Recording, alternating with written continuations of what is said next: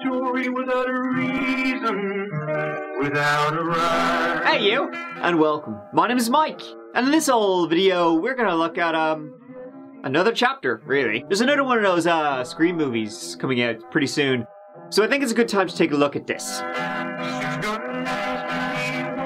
In this old one, we're going to Gainesville to look at a story that would lead to many more of the fictional kind. The inspiration for the Scream movies. Ooh. And there were a few of those here. A quote unquote musician was up to no good. As usual. He was a gas man. Uh, well, okay, no, not really. But it's one hell of a story. Emphasis on hell. Let's give it a go.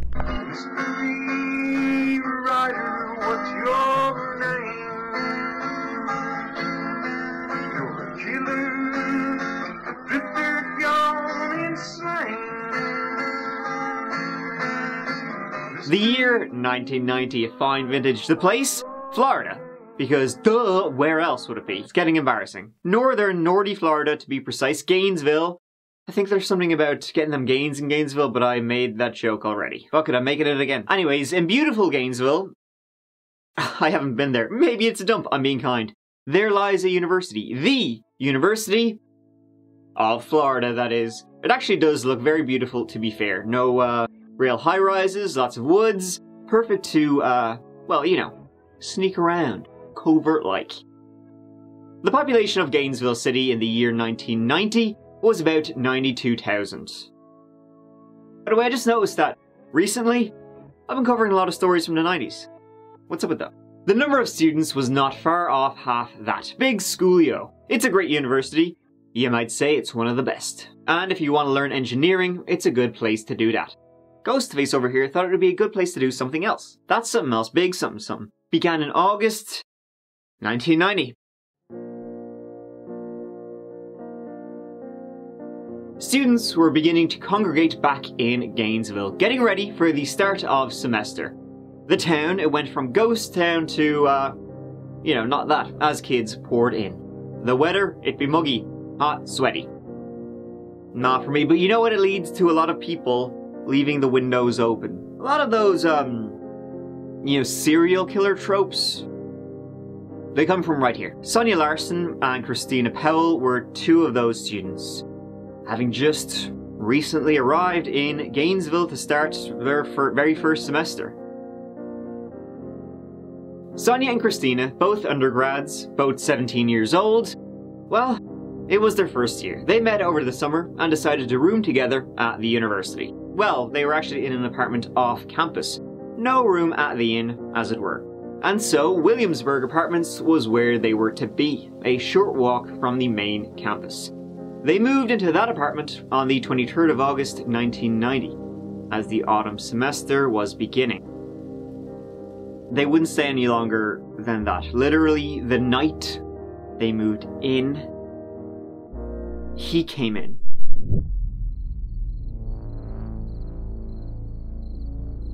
On Saturday, the 25th, family of Christina's arrived with furniture and bits and bobs to help with the move.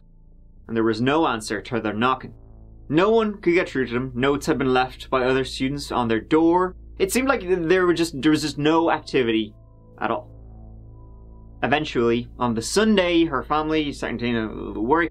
They contacted the maintenance guy. You know, get your arse over here. Kick that door down. He called the police at 4 p.m.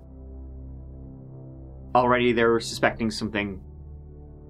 You know, I was wondering if it would be possible for me to have an officer take me. Okay, what's the problem there? I have two girls. The parents uh, suspect either something's wrong with them or they've disappeared or something. I'm just not sure. And my manager informs me not to go in by myself, but to be Okay. accompanied by a police officer. Okay, go ahead. We'll have somebody meet you. When they got in and started snooping around, um, the maintenance guy, he legged it down the stairs and started puking. Christina Powell, she was downstairs. She had been sexually assaulted, stabbed to death, and mutilated. Sonja was upstairs, stabbed to death. She had defensive wounds, she had tried to fight him off. Both had been posed in sexual positions, both naked. It appeared that the door had been busted in with a screwdriver, and they were attacked, likely, while sleeping. It was a, um, well, you might say it's gruesome. I would. Uh, sh- shocking, shocking way to start the autumn semester. You know, word that when you're on campus like that, a, uh, you know, holy shit moment. As you can imagine, who would, could, do what had been done to them? Like, thousands and thousands of students were pouring into the town. What? A lot of young partying students here for a good time!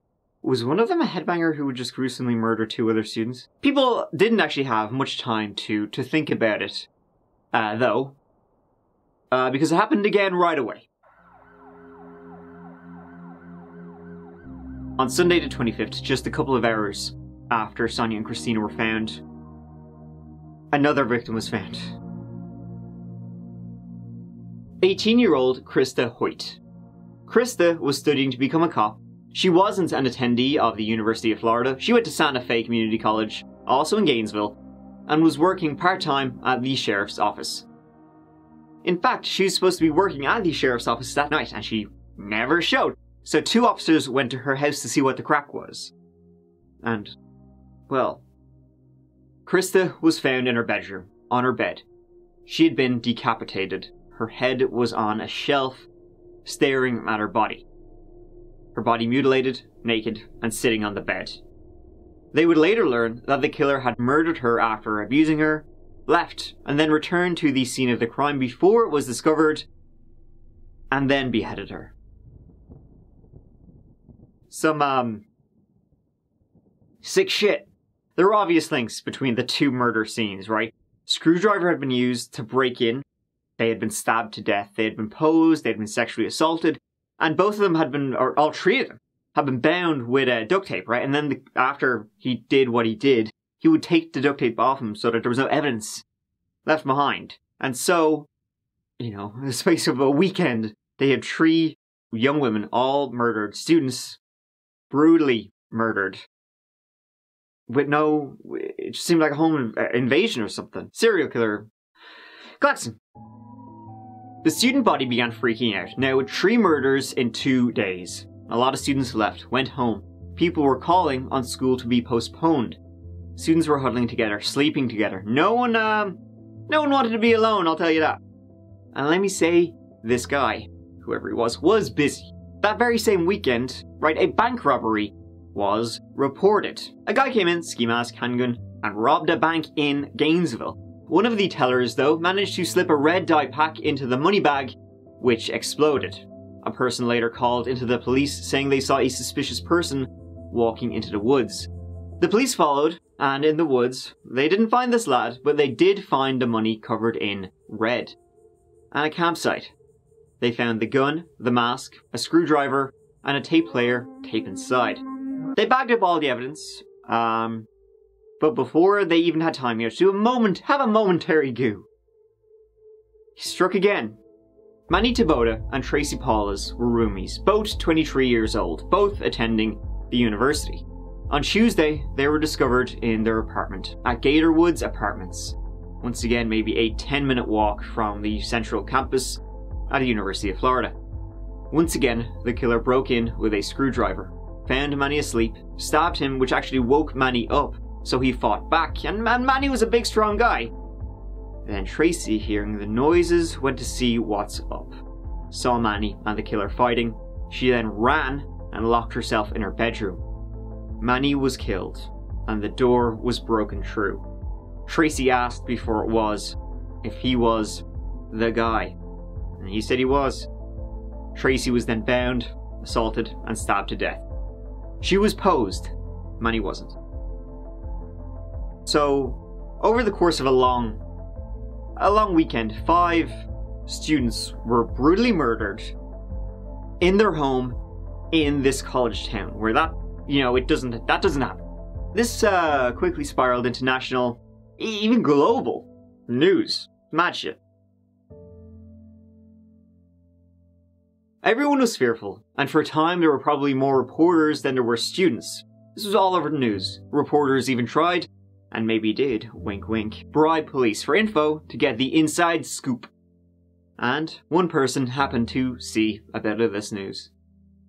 Okay, well, actually, he happened to see a documentary four years later, but it was about this, right? And his name was Kevin Williamson. And him watching this documentary about who would later be called the Gainesville Ripper led him to create this lad.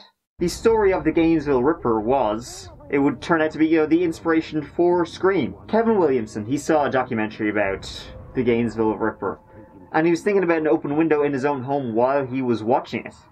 And then the idea of a man, person, just randomly breaking into people's houses, college students' houses, you know, gruesomely stabbing them to death. I mean, it's It's this! One of the original drafts of Scream, well, Scary Movie, became Scream. It was set on a college campus, which of course they saved then for Scary Movie 2. So there's a fun fact for you and a, uh, uh, not, not so fun story, so, um, I guess we should, uh, move on. Soon, they had their man. Or thought they did. A guy named Edward Humphrey, freshman student. Well, an officer with the Gainesville Police Department reported him as suspicious. And this officer wasn't the only one. Edward, uh, God love him, he kinda looked like a serial killer due to the scars on his face. They were the result of a car accident he had been in. He also had a history of uh, mental illness, he didn't take his medication, and he had been violent on more than one occasion. He even carried around a knife. It was a pen knife. It's a knife, though. They began to surveil him on the 28th of August. Then, on the 30th of August, just, you know, a couple of days after the double homicide, uh, he was arrested. Edward Humphrey was arrested.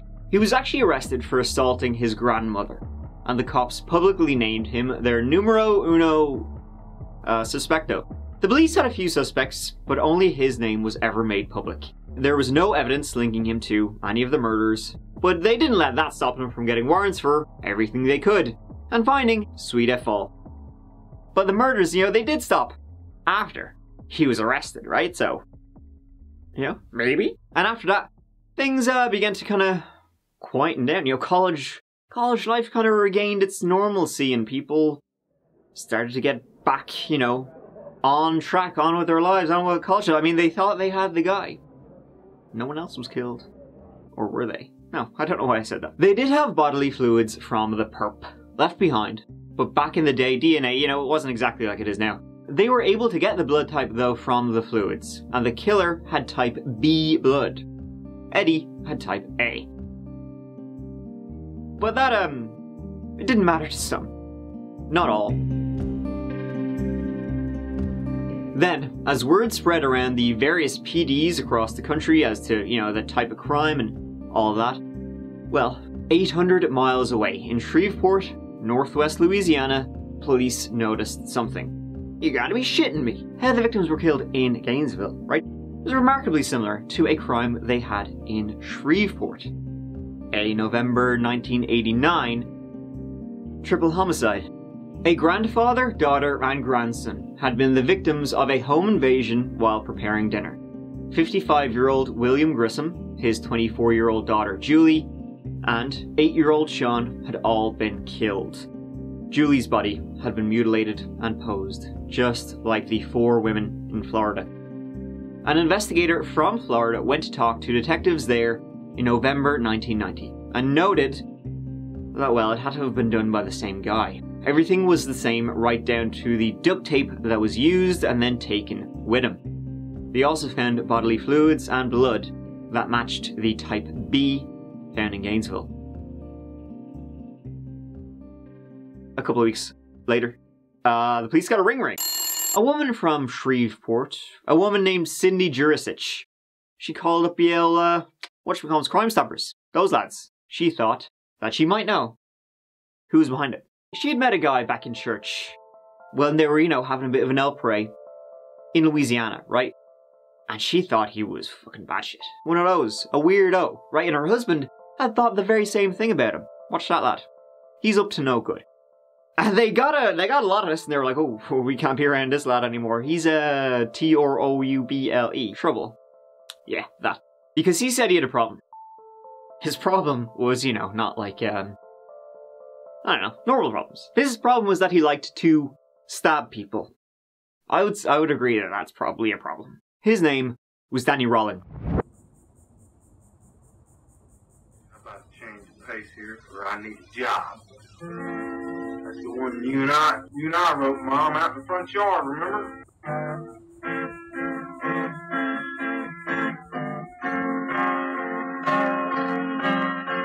Need a job today. And I ain't gonna go away. Danny was from Shreveport, born in 1954. He had one younger brother, Kevin, and one hell of an abusive father, James, a cop, who bet the shite out of, um. Well, everybody. A real bastard, right? Danny's mother, Claudia, she would take the kids and try and leave again and again and again and again, and just like that, be lured back by false promises, much the same. Definitely a house of fear. James would beat his wife, he would beat his kids if they didn't sit properly at dinner, if they held their cutlery not the way he liked it, if they breathed weird. Yeah, growing up, Danny tried to kill himself a couple of times. Didn't. Uh, then he joined the Air Force, was discharged pretty quickly because of drugs and alcohol issues. He was married, had a kid, then had a divorce, and then just kind of became a bank robber. He was arrested for armed robbery multiple times, ending back home each time with Ma and Pa. Each time he tried to find work, he'd fail to keep it. Two months was the longest employment he had. In November 1990, he murdered the Grissoms, who lived less than a mile from Rolling's. Things came to a head in the Rolling home when James and Danny, Danny was a big boy at this stage, uh, they got into an argument right? And basically, Danny, you know, James, and they were fighting. And at one point, Danny basically went to his dad, James, and said, "Do something, do something, pussy." James did. He got a gun. After a bit of a scuffle, uh, the gun ended up in Dan's hands, and he shot James in the head. And then he fled. James would survive, minus one of these, and so Dan ran, ending up in Gainesville camping out in the woods. Now, remember that tape the uh, police found at the camp? Well, that that was Danny's. He he fancied himself but of something of a singer-songwriter. He dreamed of becoming a country country music star. And in August 1990, he recorded an album's worth of eh, pure shite. Let's be let's be honest. This was very not very long before he would murder five students randomly just breaking into their homes in the middle of the night and doing horrific things to them. I don't know. I, I don't know what people think anymore. All I know is I'm just one man alone in this world, facing the whole world by himself. And no matter what anybody thinks about man, Danny Harold Rolling, no matter what happens in the road ahead of me, at least I'll walk it as a man. I know the judgments of men and how it stinks. Man does not judge rightfully. Yeah, I'll, I know I'll have to run the rest of my life. But I'm getting pretty good at it. If that means anything. I'm going to sign off for a little bit. That's something I got to do.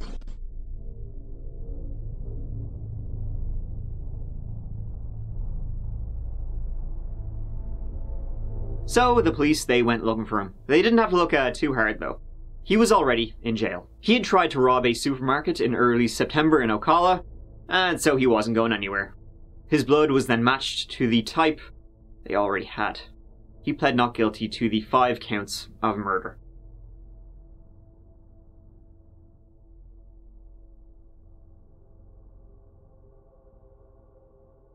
In Florida State Prison, uh, while awaiting trial, Danny met up with another prisoner named Bobby Lewis. And was, was Delira, right? To tell Bobby pretty much everything, right? He would tell Bobby, obviously, you know, only things that the killer would know. And then he would get Bobby to write letters to the police, basically like confessing true Bobby, because he didn't want to really confess, but he did want to. Here's the clip, right? It's an interview where Danny speaks to the police true Bobby, confessing everything but Danny himself doesn't like really speak about it. Audio is shite, but you can see Danny whispering in Bobby's ear.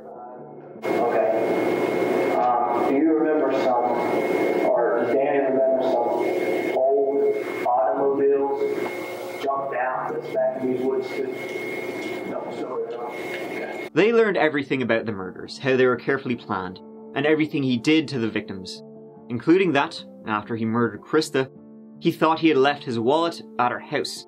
So he went back, and while he was there, he cut her head off.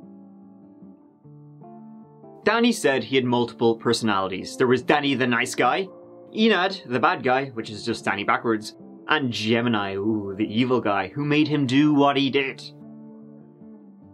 No one, uh, he's taking a piss, bought that shit.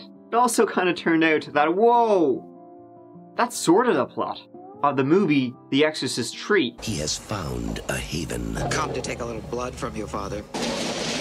Which just happened to be playing in prison while Danny was there. Right. He didn't admit to the Shreveport murders, though. Ed Humphrey was freed from prison. He was no longer a suspect in the murders. And so the trial of Danny Rolling got closer and closer. And while he was waiting about for that to happen, he fell in love with a true crime author named Sondra London. Wow. It's a bizarre story. Sondra London is a colorful and bright woman, intelligent, talented, and it's a shame the way the media has bashed her as of late. She hasn't done anything to deserve that. Sondra is a worthy soul who only tries to bring the very best out of all she does. Is it true that you had anything to do with the murders at all? Oh, I still got this on, don't I? Here he is serenading her. Please, the court. Um, could I address the court? Sure, say whatever you want to say. Thank you. Sondra, someone said to me, you can't run from your shadow. You know you wanna be deep or shallow. Okay, excuse me, Mr. Rollins. Down the Mr. path Rollins. you choose Mr. Rollins. to follow. Mr. Rollins. Tell me, baby, what were my words? All my tears run together. Yikes. And uh, a word to the wise. That's not the first romantic relationship Sondra London has had with a serial killer while they were in prison. Less that's said about her, the better. Let's move on. May I please court? Yes, sir. On July 18th, 1990, Danny Harold Rolling walked into an Army Navy store. It was in Tallahassee, Florida. It was near the bus station. He made a purchase. He paid about $34 plus tax. He bought an item. The item he purchased was a Marine Corps Ka-Bar knife, just like this one. in a very real sense, that was the first step in a plan that became an episode that will forever be remembered as the Gainesville student murders. It resulted in the deaths as a result of the rampage of Danny Harold Rolling of five people, young students in this community. That as to Sonja Larson, the aggravation is massive as to Christine Powell, the aggravation is massive. As to Christa Hoyt, the aggravation is massive. As to Manuel Taboada, the aggravation is massive. As to Tracy Paules, the aggravation is massive. Weighing so heavily in favor of the death penalty that he has earned. But it will be your duty to go through that weighing process and to make that recommendation to his honor for a sentencing recommendation, one he has explained to you that he gives great weight to you. Two, What we're asking is, as you render a verdict through Judge Morris, that puts Mr. Rolling in a cell. You close the door, you take the key, you lock it, and you throw the key away. That's what we're asking for. The trial began in February 1994. Danny pled guilty, but the trial went ahead, as this was a death penalty trial. In March, the jury came to its decision death for Danny. As to the count one of the indictment, the first degree murder of Christina Powell, the majority of the jury, by a vote of 12 to 0, advised and recommend to the court that it impose the death penalty upon death Danny Harold Rolling. As to count two of the indictment, the first degree murder of Sonja Larson, a majority of the jury, by a vote of 12 to 0, advise and recommend to the court that it impose the death penalty upon Danny Harold Rolling. As to count three of the indictment, the first degree murder of Christi- uh, Christa Hoyt, a majority of the jury, by a vote of 12 to 0, advise. Uh, yeah, yes, sir. Um, there's much I'd like to say, Your Honor, about our world, my beliefs, and the destiny of man. However, I feel whatever I might have to say at this moment is overshadowed by the suffering I've caused. I regret with all my heart what my hand has done. For I have taken what I cannot return. If only I could bend back the hands on that ageless clock and change the past. Ah, but alas, I am not the keeper of time, only a small part of history and the legacy of mankind's fall from grace. I'm sorry, Your Honor. Get off the stage! Order that no one is to move in the courtroom until Mr. Rolling has been removed by the Division of Corrections.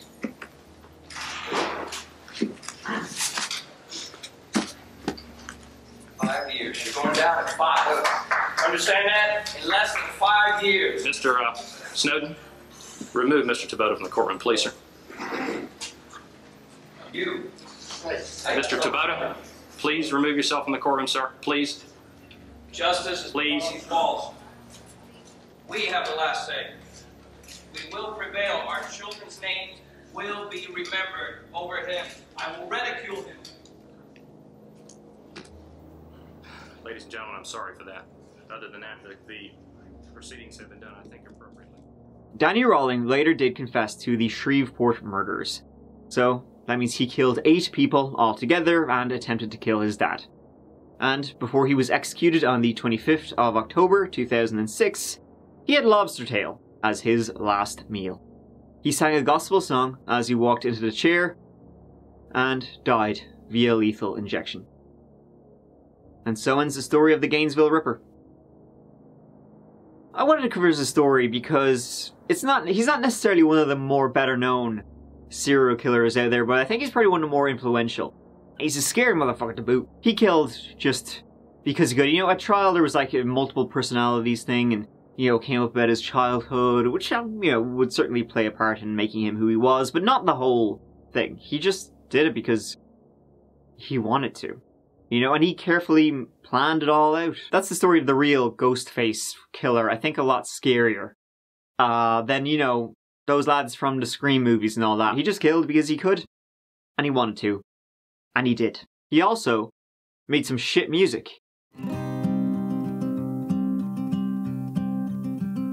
Thank you so much for watching. I really appreciate you taking time to be here with me and watching this whole video. Uh, here, go on. I'll see you as always real soon in the next little one. Until then, please take care of yourselves. Because I love you. Okay. Oh. Sweating.